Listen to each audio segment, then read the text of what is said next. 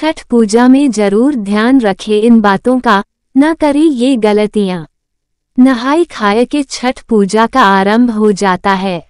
इस साल छठ का पर्व 19 नवंबर को मनाया जाएगा। छठ पूजा में भगवान सूर्य और छठी मैया की पूजा की जाती है। मान्यता है कि छठी मैया बहुत उदार मानी जाती हैं और यह अपने भक्तों पर जल्द ही प्रसन्न हो जाती हैं, लेकिन पूजा के समय कोई भी गलती से नाराज़ भी हो जाती हैं। इसलिए छठ पर्व में तैयारियों के बीच कुछ चीज़ों का खास ख्याल रखना चाहिए। एक, छठ पूजा में छठी मैया को चढ़ाने वाली कोई भी चीज़ जुटलई और खंडित नहीं होनी चाहिए। अगर पेड़ों पर लगे फल फूल को भी पशु पक्षी ने जुटलाया है तो उसको भी माता को अर्पित न करें। फल फूल हमेशा साफ़ सुथरे और शुद्ध होने चाहिए।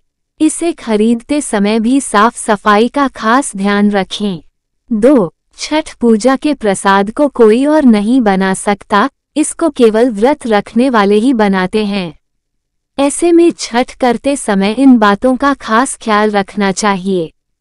तीन चार दिन चलने वाले इस महापर्व में जो भी व्रत करता है और उसके परिजन को तामसिक भोजन जैसे लहसुन प्याज तक के सेवन करने से बचना चाहिए और इस व्रत की शुद्धता तक का ध्यान रखना चाहिए।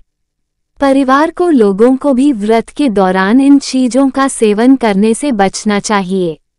चार, आपको बता दे कि जो भी छठ का व्रत रखता है उसे छठ के सभी नियमों का खास पालन करना चाहिए। छठ पूजा का व्रत करने वाले व्यक्ति को बैठ, गद्दा या पलंग पर नहीं सोना चाहिए।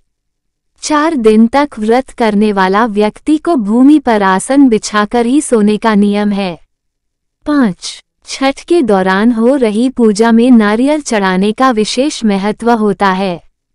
नारियल के साथ साथ गन्ने के बिना भी इस पूजा को अधूरा माना जाता है। कहा जाता है कि छठ महापर्व की पूजा इन दोनों चीज़ों को बिना अधूरी होती है। छह। छठ पूजा के पर्व पर सूरज को अर्घ्य देते वक्त किसी भी तरह के शीशे या स्टील के बर्तन का इस्तेमाल नहीं करना चाहिए। सूरज को अर्घ्य दिया बिना ये पर्व अधूरा माना जाता है। सात। छठ पूजा के दौरान सामग्री का विशेष तौर पर ख्याल रखें।